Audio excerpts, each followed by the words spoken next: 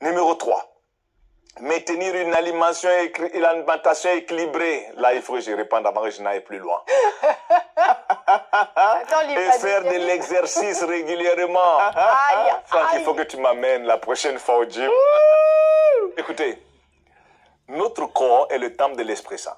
Et quand on dit ça des fois, on l'interprète spirituellement. Mhm. Alors, il est le- l'esprit et le corps appartiennent à Dieu. Mais quand on dit notre corps est le temple de l'Esprit Saint, ça parle de ce corps ici. Ce n'est pas un truc immatériel. Uh-huh. C'est matériel. Donc, si l'esprit en toi et tes rêves que Dieu t'a donnés sont en toi, si tu prends pas soin de ce corps, écoutez, si ce corps, ce corps meurt, tes rêves sont morts sur cette terre.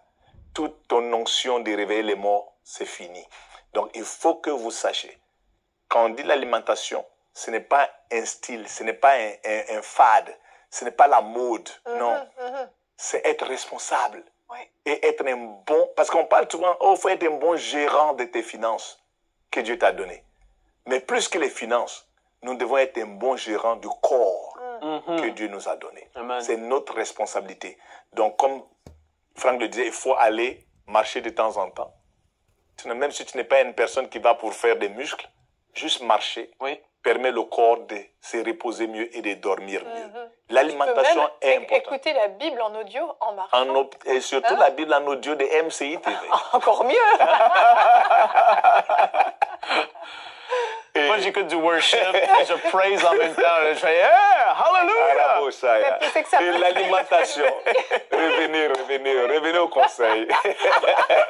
l'alimentation compte. Yep.